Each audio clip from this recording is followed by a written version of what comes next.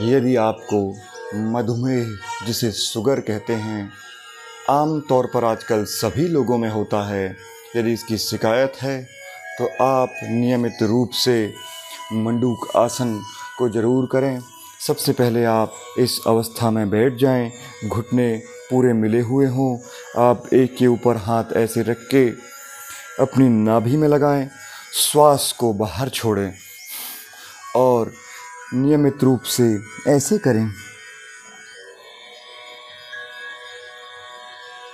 पाँच पाँच मिनट तीन बार करने के बाद इसे अपने दोनों हाथ के अंगूठों को ऐसे रखें और यह हिस्सा दोनों हाथों का नाभि के बीचों बीच लगाएँ।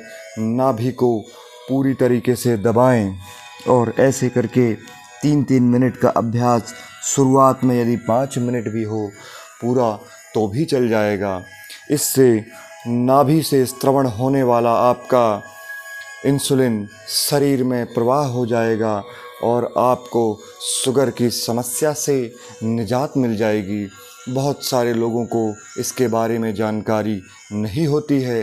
नियमित रूप से इसका अभ्यास करने से शुगर 45 दिन में पूरी तरीके से ठीक हो जाती है। प्रथम स्टेप में ऐसे और द्वितीय स्टेप में ऐसे करने से पूरी तरीके से शुगर आपका ठीक हो जाएगा।